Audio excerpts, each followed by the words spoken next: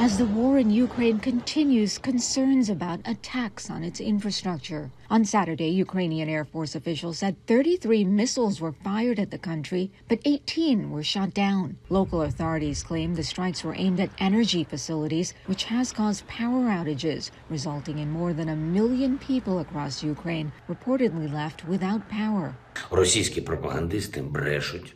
In his nightly video address, President Volodymyr Zelensky urged Ukrainians to limit their use of electricity, adding they're working to bring the power back as soon as possible. He also praised the Air Force for defending the country's skies. In the Donetsk region, troops using the cover of trees to avoid possible Russian attacks. Our enemy have uh, many, many um, weapon and uh, artillery. We don't have a lot of artillery.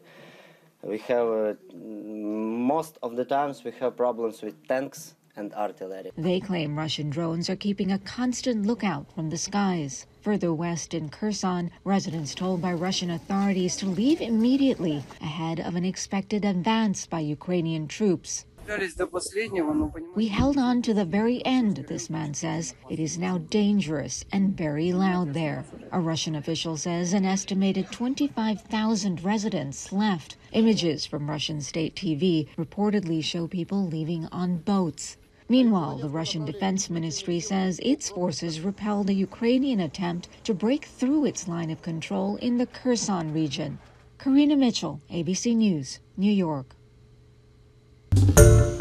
Hi, everyone. George Stephanopoulos here. Thanks for checking out the ABC News YouTube channel. If you'd like to get more videos, show highlights, and watch live event coverage, click on the right over here to subscribe to our channel. And don't forget to download the ABC News app for breaking news alerts. Thanks for watching.